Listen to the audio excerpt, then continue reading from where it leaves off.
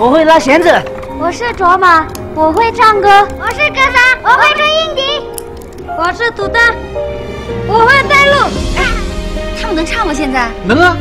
我们来自西藏的盲童学校，我们上电视就是想证明我们这些盲人不只会坐在家里织布和在盲童学校里等着一天天长大，就是想让所有人看见我们能唱歌。我们还想通过这首歌，让我们的好伙伴图丹能再看见这个世界。来，给我们准备，新年。